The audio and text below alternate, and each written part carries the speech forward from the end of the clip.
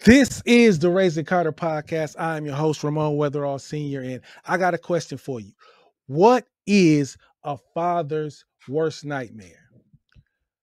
Well, I got something that could be any father's worst nightmare. First of all, a man should never put his children in danger. His son, his daughter, the mother of his children. You should never put your put them in danger. I don't care what you got going on.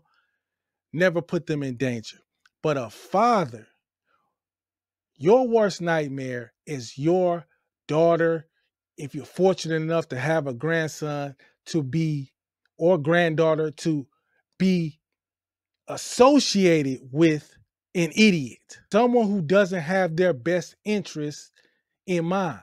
And if you want to see that in live, in living color, I got a video for you. Check this video out right here.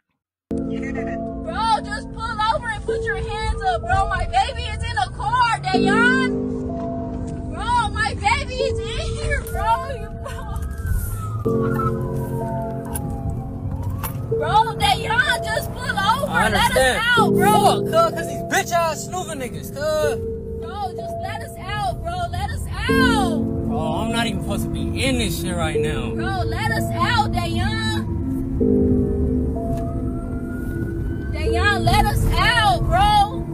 It's over with. Dayon, let us the fuck out. Oh, stop this Bro, no, I'm not relaxing when you got my baby in the car and they got guns pointed to the car and they about to hit the car, bro. He said, relax. You're on a high speed chase with your baby mama in the in the car, your toddler son, your newborn son, and he talking about relax. She telling them they got guns drawn and everything, and this fool talking about You're not thinking about your baby right now. You finna get our baby too, Bro, bro. they gonna smoke me. You already did it the first time, bro. Don't do this shit again, bro. Well, I love y'all. I'm never gonna see y'all again. Bro, we love you more, bro. You is gonna see us again, but you gotta pull over, bro. You have to, bro. Pull over with your hands in the air, Bro, Dayon. it's over with. Bro, Dayon, pull over. Can somebody please tell me why he's recording this? Why are you recording this? That's why. Why are you? Re- uh, that's the only. That's the. Rec- is it, man? Is is it that important for attention? Even in your worst moment, you still need attention, boy. In your worst moment, you still need attention. Bro, Dayon, pull over, Dayon. You don't give a shit about your baby, I you do. I love both of y'all. Then pull the fuck over, The bro. fuck you think I live for? Bro, you finna get us fucking killed, bro. They got guns pointed to the car, bro. Bro. Dayon, you fucking serious right now, bro. Pull over, let us out. For some shit that Bro, I let us didn't do. out. Don't fucking matter who the fuck did it. Let me the fuck out my fucking baby. I'm not gonna keep telling you, bro. Fuck over. Hey, oh, bro, that's oh. your best fucking man, bro. You're not gonna put my baby in danger. I'm sorry, I love you, but you're not gonna do that shit, bro. I don't care, Ain't nothing bro. but on water. Bro, it ain't no fucking water. It's in the bag. I put two. Bro, get out, bro. Bro. Bro, I promise I'm not gonna do nothing but y'all. Bro, you're fucking what the fuck you doing? You talking about you not gonna put us in danger? You, the last thing you do is to be on fucking live.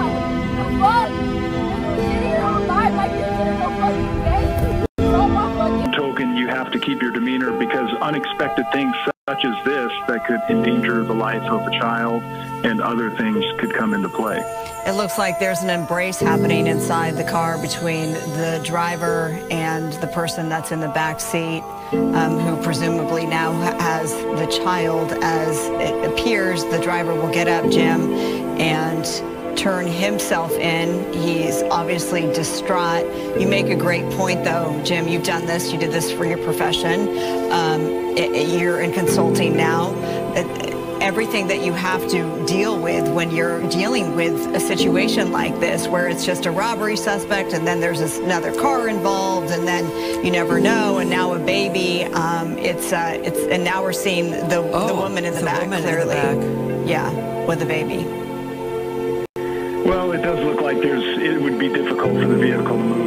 think it's going to be a safe conclusion, which is uh, the most important factor, and we can sort of decipher now. Um, ne- next steps. You know, there's always a story behind that that's unfortunate. Uh, of course, we want to look out for the victims, but there's always troubling uh, details when uh, that involves human beings when you're involved in crime. A man never puts the people he loves in danger. I don't care who you talk to. I don't care where they from, what gang, what hood, whatever. They're not trying to put the people that they care in danger. What they do is what they do. But the problem is when you want to live a life that you not that you not suited for, that you not made for is is how you make mistakes like this. You should have stayed in school. You should have got A's and good grades like your mama wanted you to. Because being a street dude and being a gangster ain't you.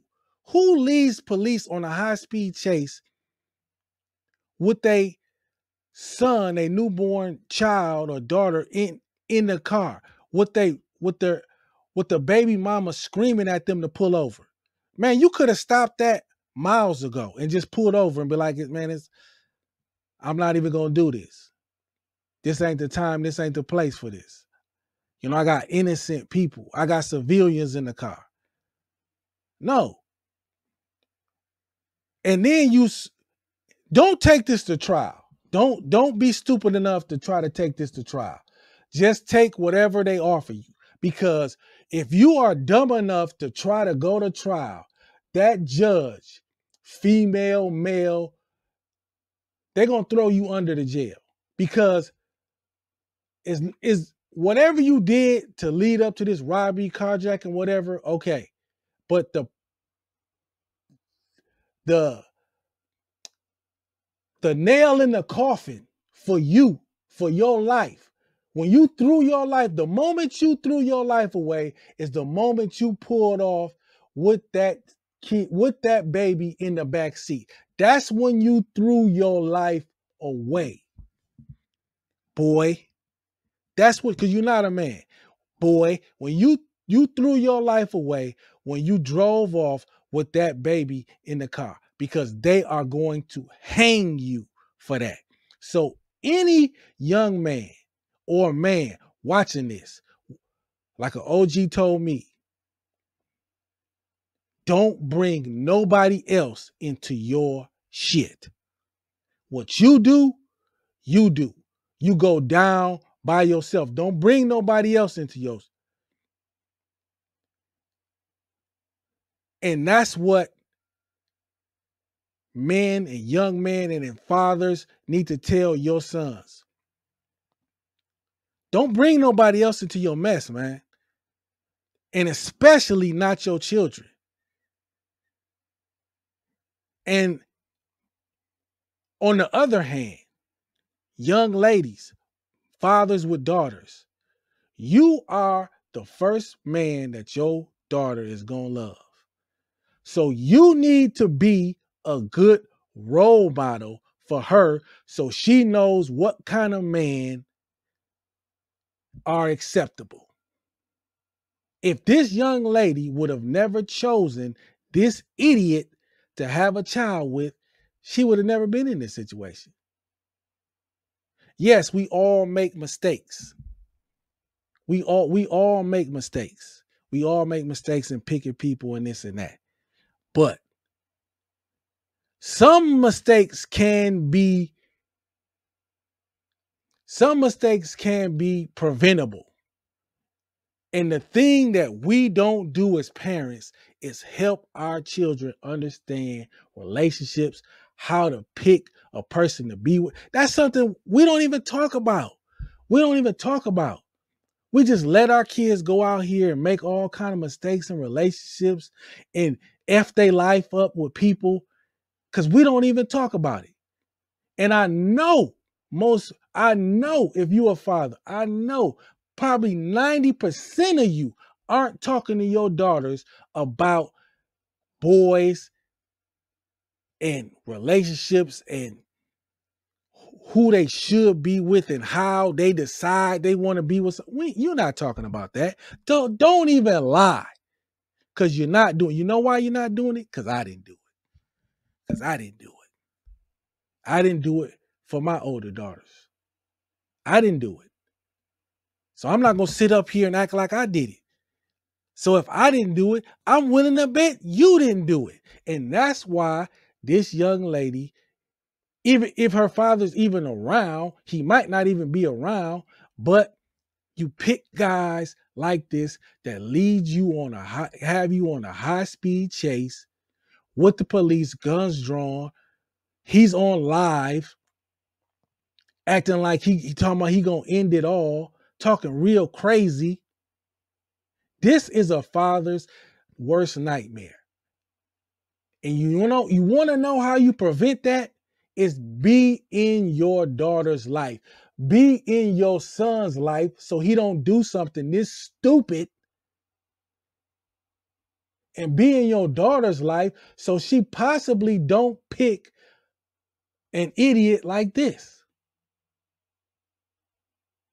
Or you're there to say, uh, no, no, no. I'm sorry, you can be mad at me, but him you will not be seeing. Him, you will not be going out with over my dead body. You can hate me all you want, but it ain't going down. And that is this episode of the Raising Karter podcast. I'm your host, Ramon Weatherall. And if you got any value from this episode, check out the rest of our playlist. And if you want more, I'll be back for you.